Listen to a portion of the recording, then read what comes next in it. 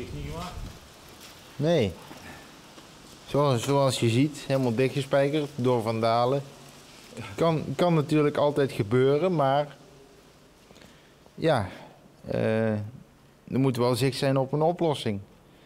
Die is er nog niet. Al bijna twee maanden is de lift op station Geldrop kapot. Vernield door vandalen op oud en nieuw.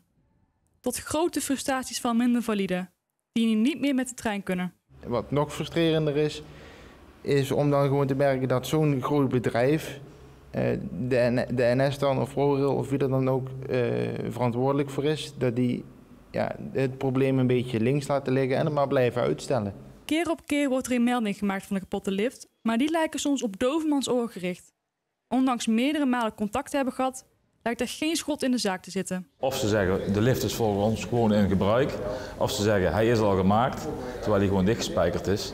En dan, oh, dan zeggen ze we maken er een melding van. Maar er is al heel vaak een melding van gemaakt. En dat ja, voelt voor mij echt heel eh, frustrerend, zeg maar. Eh, In de reactie laat de NS weten bewust te zijn van het probleem, maar duurt de reparatie lang omdat de schade groot is en onderdelen lastig leverbaar zijn. Wel bieden ze alternatieven, zoals de regiotaxi.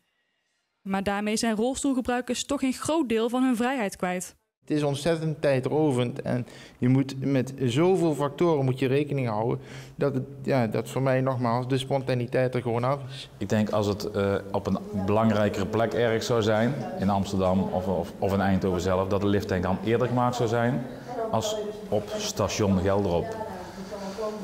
En eh, ja, dat vind ik gewoon jammer eh, dat hij daardoor beperkt wordt in zijn eigen vrijheid. Want hij had juist hele goede stappen gemaakt eh, om zelf dingen te gaan ondernemen.